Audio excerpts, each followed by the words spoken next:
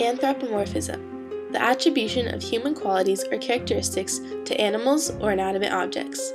A strange way of seeing the world around us, don't you think? But think again.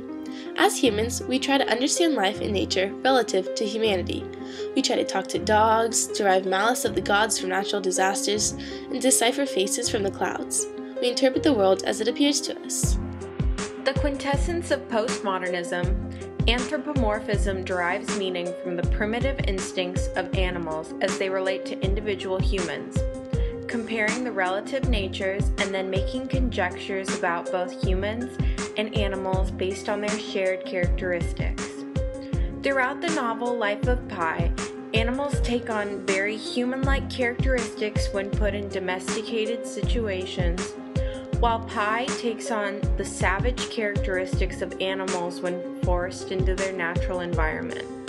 Outside of the modernized, unnatural political society of the current world, Pi lowers himself to the mindset of an animal while recognizing similar traits between him and those with which he shares the boat.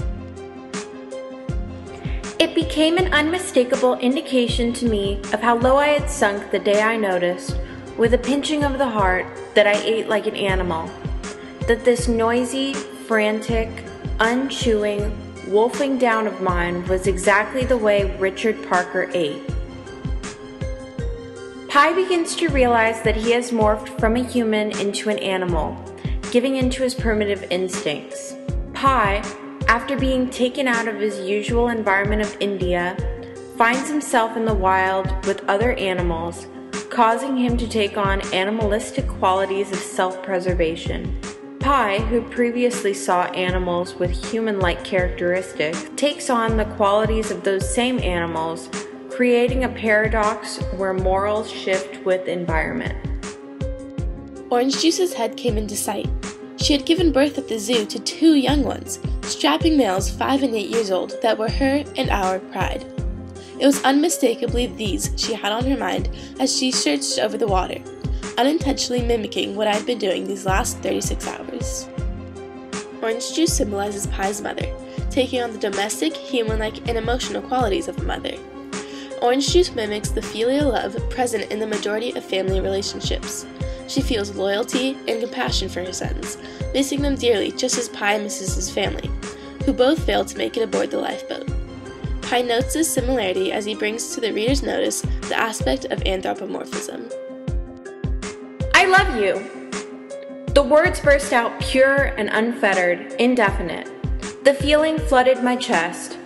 Truly, I do. I love you, Richard Parker. If I didn't have you now, I don't know what I would do. I don't think I would make it. No, I wouldn't. I would die of hopelessness. Richard Parker's sheer presence acts as a means to keep Pi motivated by giving him a sense of comfort in the foreign environment of the vast Pacific Ocean. Richard Parker ultimately saves Pi's life by giving him an incentive to survive. Pi now feels so comfortable with Richard Parker to even admit his love for him, almost as though he were his brother. This was a terrible cost of Richard Parker. He gave me a life, my own, but at the expense of taking another. He ripped the flesh off the man's frame and cracked his bones. The smell of blood filled my nose. Something in me died then that has never come back to life. In this scenario, Pi truly is Richard Parker. He is the one who sunk so low as to kill the other man. In this scene especially, Pi relies on the animal to display the cruelty of what happened on the boat. Pi takes on the savageness of a tiger so greatly that that is the image he uses to portray his actions. It is the reverse of anthropomorphism. Humanthropomorphism, maybe? But he regrets his actions so greatly he cannot even truly admit to his deed and blames it on the fictional Richard Parker. Even though animals are different species than humans, we are more similar to them than some may think. Even more, these traits become apparent when the only objects available to view are animals and humans themselves. The novel Life of Pi by Yann Martel embodies the characteristics of anthropomorphism throughout every chapter of the book.